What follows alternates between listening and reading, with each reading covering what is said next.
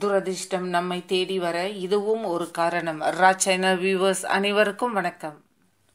நாம் ஒவ்வொருவரும் விரும்புவது சந்தோஷமான நிம்மதியான வாழ்க்கையைதான். ஆனால் எத்தனை பேருக்கு இந்த வாழ்க்கை அமைகிறது?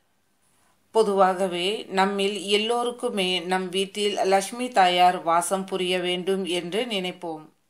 சமயங்களில் நாம் செய்யும் ஒரு சில தவறுகளினால் தரித்திரமும் துரதிர்ஷ்டமும் நம்மை ஆட்கொண்டு விடுகிறது. இதனால் மகாலட்சுமியின் அருள் நமக்கு கிடைக்காமல் போகிறது. அது என்ன தவறு என்பதை பற்றி தான் இந்த காணொளியில் நாம் பார்க்க உள்ளோம். நாம் அனைவரும் பயன்படுத்தக்கூடிய ஒரு பொருள்தான் இந்த சீப்பு. இந்த சீப்பை நாம் பயன்படுத்தியவுடன் சுத்தம் செய்கிறோமா என்று கேட்டால் பலரின் பதில் இல்லை என்றுதான் வரும். தலையை சீவிய பின் அதிலுள்ள முடியை சுத்தம் செய்யாமல் அப்படியே வைத்து விடுவதால் அது நம் வீட்டிற்கு தரித்திரத்தை தான் கொண்டு வந்து சேர்க்கும் என்பது சாஸ்திர ரீதியான உண்மையாகும்.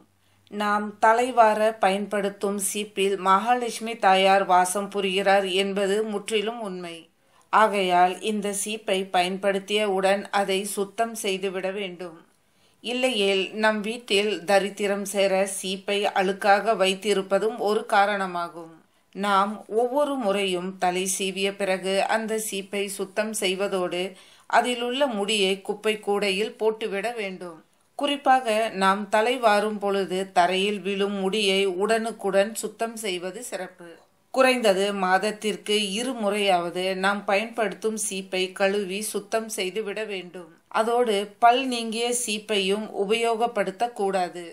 இப்படி நம்மையும் அறியாமல் நாம் செய்யும் தவறுகளினால் நாம் பெரிய அளவில் பாதிக்கப்படுகிறோம். இனி நீங்கள் பயன்படுத்தும் சீப்பை சுத்தமாக வைத்துக் கொள்வது உங்கள் கடமையாகும். இது போன்ற நல்ல பழக்கங்களை நம் குழந்தைகளுக்கு சொல்லிக் கொடுப்பது நமது பொறுப்பாகும். இந்த காணொளி உங்களுக்கு பயனளிக்குமாயின் லைக் பண்ணுங்க கமெண்ட் பண்ணுங்க சப்ஸ்கிரைப் பண்ணுங்க. நன்றி வணக்கம். வணக்கம். நீங்கள் பார்த்து கொண்டிருப்பது ரச்சனல் ஏழு ஜென்ம பாவங்களையும் போக்கக்கூடிய இந்த நாளை தவறவிட்டால் நஷ்டவாளி நீங்கள்தான். அது என்ன நாள்? அப்படி அந்நாளின் சிறப்பு என்ன என்று இந்த காணொளியில் நம்ம பார்க்க போறோம். நான் ராஜ்.